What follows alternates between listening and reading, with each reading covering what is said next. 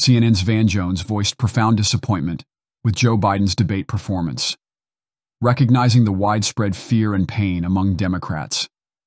He suggested that Biden consider stepping down to allow the party to forge a new path. Uh, I love Joe Biden. I work for Joe Biden. Um, he didn't do well at all. Uh, he he did not do well at all, and he looks.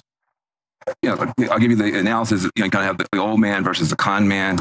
Uh, I can walk you through how I'm supposed to see it and say it, but I just want to speak from my heart. Um, I love that guy. That's a good man. He loves his country. Uh, he's doing the best that he can. Uh, but he had a test to meet tonight uh, to restore confidence uh, uh, of, of the country and of the base, and he failed to do that. And I think there's a lot of people who are going to want to see him consider um, taking a different course now. Uh, we're still far from our convention, and there is time for this party to figure out a different way forward if he will allow us to do that.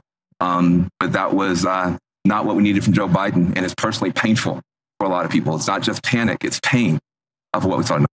Jones's remarks highlight deep concerns about Biden's capabilities.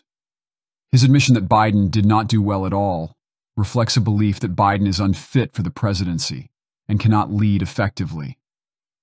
The call for Biden's resignation points to instability within the Democratic Party.